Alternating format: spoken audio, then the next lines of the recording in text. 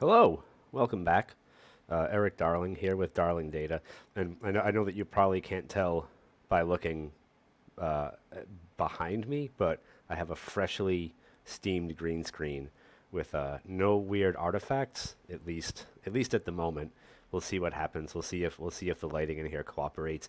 Uh, right now, I have basically the equivalent of a full tanning bed, uh, blasting light at this thing. So hopefully, aside from some weird artifacts where my my tattoo colors uh, match the color of the the green screen chroma key stuff, uh, we can we can avoid any unpleasantness. So sorry if that's distracting.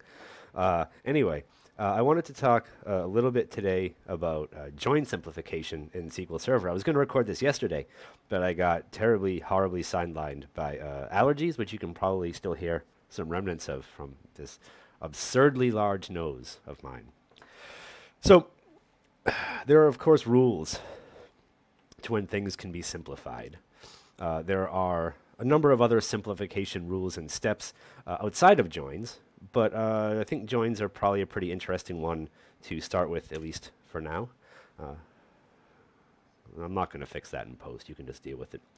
Uh, so one time when uh, joins can't be simplified, and I'm going to explain simplified as we sort of look at execution plans, um, is when we, I mean, we can just get an estimated plan for this one, right?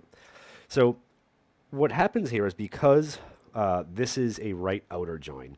And this could happen in a situation where the optimizer rewrites a query to use a right join rather than a left join. It can reorder and reorganize all the things that it wants.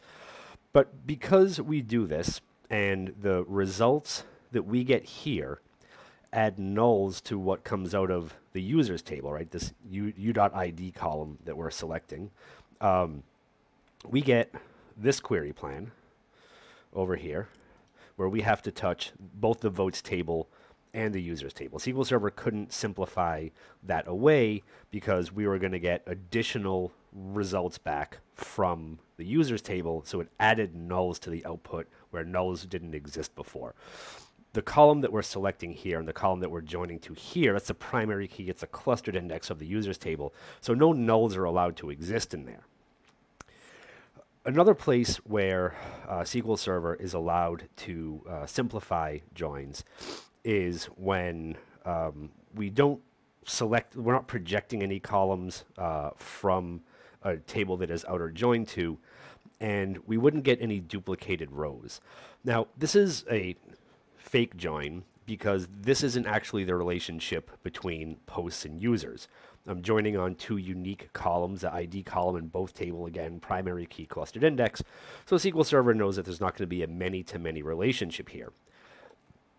If we get the estimated plan for this query, you'll notice that unlike the query plan for the last query that we looked at, sorry, that jumped around a little bit, and this one, we only touch the users table, right? So that join to the post table is completely taken out of uh, the query optimization uh, steps. It's, it's pruned out, as smart people might say. now, uh, if we look at this query, which is an inner join to uh, from the users table to the users table, which I know looks a little weird, but what we're going to do is uh, run this and get the estimated plan.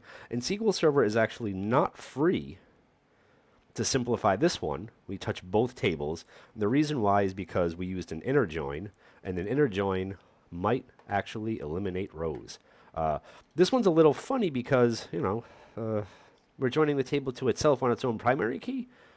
So maybe simplification could be a little smarter. I don't know. I don't, I don't think I like this one very much. But in this example, where we wouldn't actually eliminate any rows because we have an additional uh, condition here, or rather we're doing a left outer join here, uh, what we're going to see is SQL Server only hit the users table once on that one. SQL Server can also apply that to much larger queries. So I'm going to run this whole thing. And the only part of this that really, really matters is way down at the bottom. And I do apologize to the greater SQL Server community for having that column up there uh, has a leading comma, but I only do that to make life easier when I need to quote it out. So you can deal with it just for this one query. And if we get the estimated plan for this one, we get this whole gigantic query plan back. If we say zoom to fit, you can sort of start to grasp the absolute magnitude of this thing. It, it, every single uh, one of those derived join, derived left joins that we do throughout the entire query is uh, part of the query plan. SQL Server hits all of these things. If we change this query just a touch, and again, apologize for the leading comma. Hopefully, no one no one beats me up at the next conference. We quote that out, and we rerun this whole entire thing just like before, and we get the well, not not going to run it, but we are going to get the estimated plan for it. The estimated plan this time around is much simplification, simplified, because we only touch the users table this time. We don't do all the other joins. We don't do all the other work. So SQL Server's Query Optimizer, when it's looking at uh, the query that you send into it, one thing that it's going to do is try to find things that it doesn't have to do. The optimizer is lazy, just like me.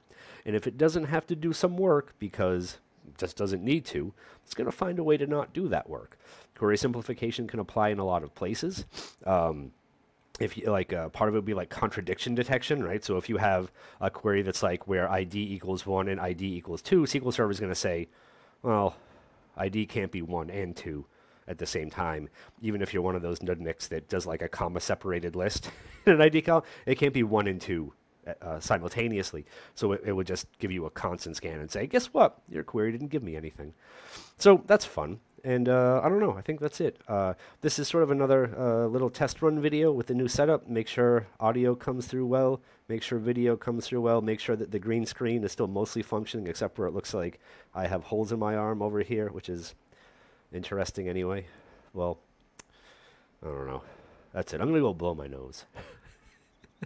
These allergies are awful. Anyway, uh, thank you for watching. I hope you learned something. I hope you enjoyed yourselves, and I will see you soon, soonly, in another video, hopefully with my simplified recording setup.